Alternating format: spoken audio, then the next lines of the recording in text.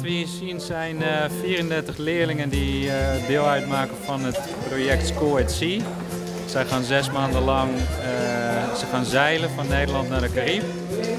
En zij zijn hier bezig met het beschilderen van een zeil. Dat is voor het project Sail Future. En de opbrengst hiervan is bedoeld om andere kinderen te helpen op andere, die, op andere plekken in de wereld. En als ze hier klaar zijn met het schilderen van het zeil, zullen ze ook een lied maken. Wat ze dan door gaan geven op andere eilanden waar we komen.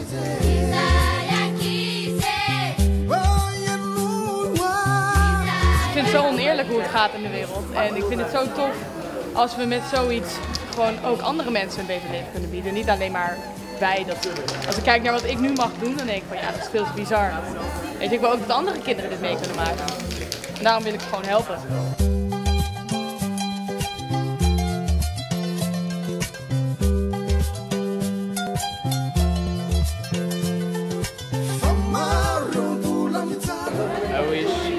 Happiness. Uiteindelijk werken voor een doel. Maar vooral voor, ons, voor mij is vooral dat ik om dit leuk te doen. Ja.